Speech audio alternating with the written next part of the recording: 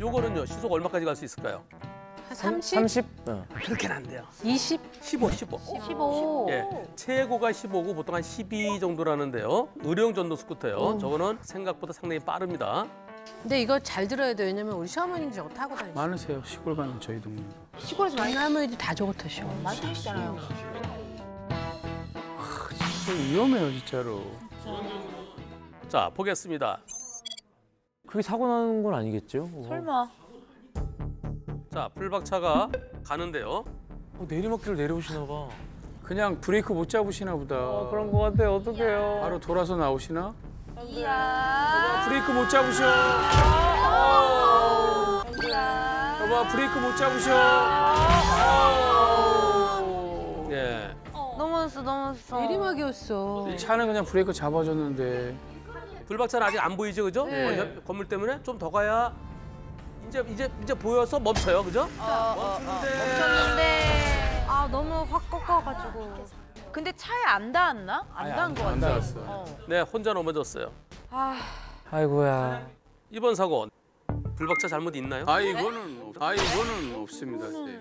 불박차하고는 아무 상관 예, 아무 없는 것 상관이 같은데요? 전혀. 서행으로 천천히 가다가 위험을 또 인지하고 정착까지 정지까지 하셨거든요.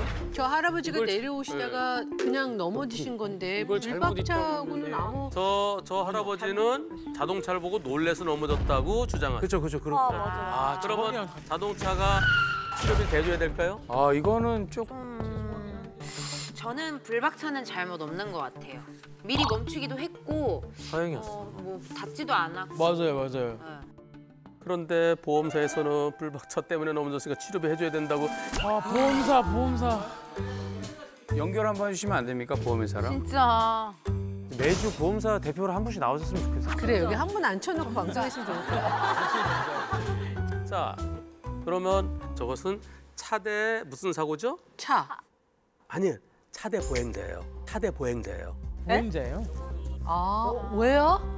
전동 휠체어도 의료용 전동 스쿠터도 몸이 불편한데 답이에요. 아, 나 몰랐네. 이게 차대차 사고가 아니라 차대 보행자 사고예요. 그러네. 여기서 퀴즈. 퀴즈.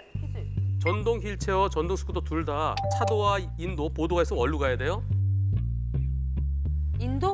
차도. 그렇지. 아니 아니 아니. 아니 보행자가 어디로 가요? 어 할머니들이 다 차도로 다니셔요 제가 맨날. 아, 맞아. 근데 이, 이 보도 블럭이 있으니까 덜덜덜덜 하니까 네. 걔가 평평한 차도로 가시는 그게 거고 더 편하시니까. 그거 위험해요. 안 돼요. 근데 인도로 갈 수가 없어요 길이 좁아서 나무를 심어놓는다거나 짐을 내놔서 턱도 있고요. 어르신들은 인도를 다닐 수가 없게 돼 있거든요. 현실이. 그 대부분은 차로 다니시는데 맞아요, 맞아. 맞아요. 지금 제가 지금 저 왠지 걱정이 되니까 너무 걱정돼요 지금. 어, 진짜 실제로 타고 계시니까 조심해야겠다. 아 어떡해. 아. 아 선생님 바꿀 게 너무 많아요. 진짜. 어?